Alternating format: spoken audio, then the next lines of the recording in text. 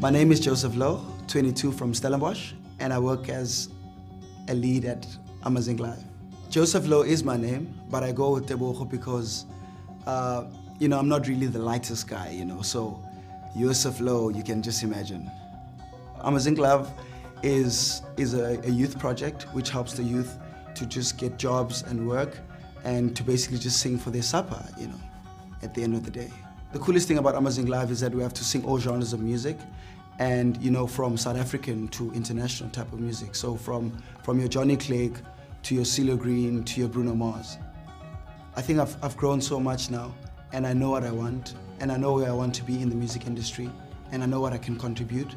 And so I believe that if I could get the golden ticket, I could make a difference.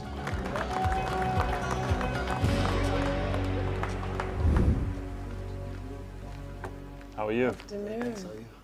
Good. What are you singing? Uh, when I was a man, Bruno Mars.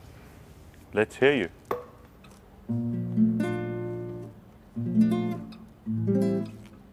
Same bed, but it feels just a little bit bigger now.